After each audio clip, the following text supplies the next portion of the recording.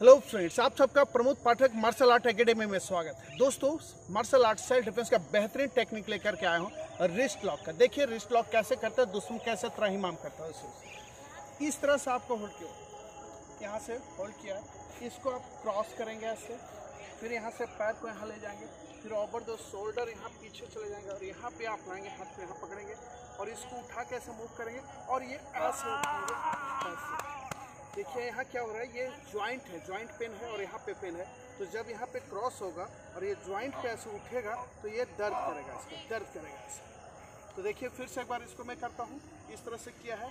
अब इसको ऐसे ग्रैप करेंगे आप, ऐसे मजबूती के साथ ऐसे पकड़ेंगे, ऐसे ग्रैप करके इसको घुमाया ऐसे यहाँ, फिर यहाँ से क्रॉस किया और ये यहाँ पे बॉडी को ले गया सामने से। और इस ज्वाइंट पे यहाँ पे ऐसे करेंगे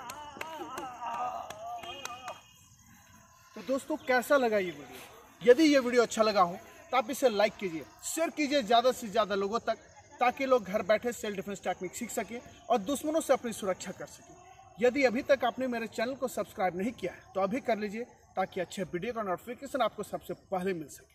और दोस्तों, आप अपना वेल वेल कमेंट्स ज़रूर लिखें कि वीडियो कैसा लगा। Thank you for watching bye bye